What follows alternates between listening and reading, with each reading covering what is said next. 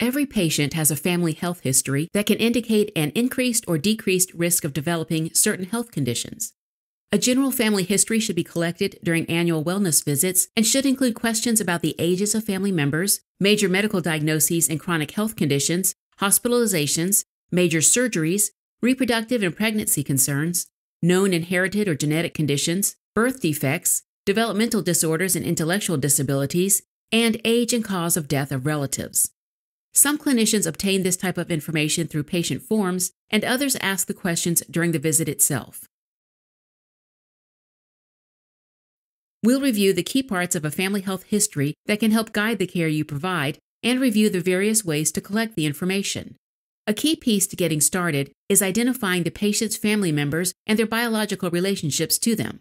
Parental information, such as whether your patient was adopted or donor conceived, is also valuable. All of these pieces of information play an important role in understanding which conditions the patient is at higher risk of developing. Another piece of the family history to obtain is ethnicity information or genetic ancestry. All of this information contributes to your patient's genetic identity and can help inform the interpretation of their family health history. There are different ways to collect family health history. Forms and verbal inquiries for information are two possibilities, but a general family history may also be obtained using electronic family history tools available for free to patients like the U.S. Surgeon General's My Family Health Portrait or tools from the Electronic Health Record, abbreviated EHR, itself. Family history information can be linked to a patient's EHR and updated during a visit, or if accessible by patients directly, they can be encouraged to keep their information updated. Some specialists, like genetic counselors, prefer to use a graphic visualization of family history called a pedigree. Pedigrees are particularly useful for inheritance pattern recognition when a patient has or is suspected of having a particular health condition or has a condition or group of related conditions that run in the family. For instance, if a patient is suspected of having ovarian cancer, a pedigree would allow the provider to document and describe other family members with ovarian, breast, colorectal, or other types of cancer. Then, more specific follow up questions can be asked about family members with these potentially significant conditions, like age of onset, additional symptoms or characteristics, and if there was a confirmed diagnosis. Asking if family members have seen specialists or have had genetic testing can be especially informative and can be noted in the pedigree or in an electronic health record family history form or table. Let's explore the symbols used in a pedigree. Pedigree symbols represent the relationships in a family and the individuals with a particular health condition, as well as those who are known carriers of genetic risk for the condition, those without the condition, and those whose status is unknown. In addition to first degree relatives, parents, siblings, children, a pedigree should also include second degree relatives, half siblings, aunts or uncles, nieces, nephews, grandparents, grandchildren, and third degree relatives, great grandparents or great grandchildren, and first cousins. The first family member who brings the concern of potentially genetic health condition to medical attention is called the proband. The patient seeking medical advice is called the consultant. Sometimes the consultant is also the proband. A square on the chart indicates a person who identifies as a male. A circle indicates a person who identifies as a female. For people who are transgender, use the notation AMAB, assigned male at birth, AFAB, assigned female at birth, or UAAB, unassigned at birth, next to their symbol. A diamond can be used for people who identify as non binary and for other instances of gender diversity. Since both sex assigned at birth and gender identity are clinically relevant when assessing and discussing genetic risks, a safe and affirming environment helps to encourage the disclosure of this information. Individuals with the condition of interest are represented by filled in shapes, and those without the condition have empty shapes. Various fill patterns can be used to indicate carrier status and other clinical findings and should be defined in the legend.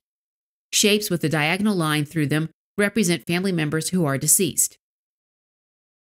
One horizontal line connecting two individuals means they are in a relationship, and a line extending downwards from that line connects them to a row of their children. If there are two horizontal lines between two individuals, then this is a consanguineous relationship, meaning they are related, indicating a higher risk of passing on autosomal recessive conditions. Two dashed lines in the middle of the one relationship horizontal line indicates the two are no longer together, either separated or divorced. Once created, a pedigree can also be used to visualize the condition's inheritance pattern, either monogenic or complex, also called multifactorial. Monogenic inheritance patterns follow simple genetic patterns and are influenced by single variants in single genes, and are less influenced by non genetic factors. There are four types of monogenic inheritance autosomal recessive, autosomal dominant, X linked, and mitochondrial inheritance. On a pedigree, autosomal recessive conditions usually appear in multiple individuals in a single sibship, or group of siblings, while autosomal dominant conditions are typically present in multiple generations for milder or late onset conditions. However, smaller family sizes in the modern era may make it difficult to discern this in practice. Meanwhile, many conditions follow complex inheritance with multiple genetic environmental factors influencing development of a condition. So, in a pedigree, complex patterns may be less evident and often appear to have fewer clear links between individuals who develop the condition. So, the best approach to identifying the condition's cause or etiology is to look for monogenic patterns first, and then, if all are eliminated, consider complex origins. Now, family history is only one piece of the risk puzzle, and genetic testing, either through direct to consumer, abbreviated DTC genetic testing, or clinical genetic tests, can also help gain further insights into a patient's risk. Regardless of how information is obtained from a genetic test, it's important to discuss the differences between family history and genetic test results with patients. Each one on its own may tell a different story, but together they can provide a more complete picture of a patient's personal risk for developing a health condition. For instance, a patient with a family history of age related macular degeneration may take a genetic test that says they are at typical risk for macular degeneration. In this situation, depending on the comprehensiveness of the test, the patient may still be at increased risk. So, a patient should be informed that although the genetic test indicates they may be at typical risk, because of their family history, they may still be at increased risk and need to receive regular screenings for macular degeneration. Now, as a quick recap, a patient's family health history can be an important indicator of genetic etiology of a condition and can be useful in estimating a patient's risk. There are various methods to collect and represent the family health history, which should be regularly updated.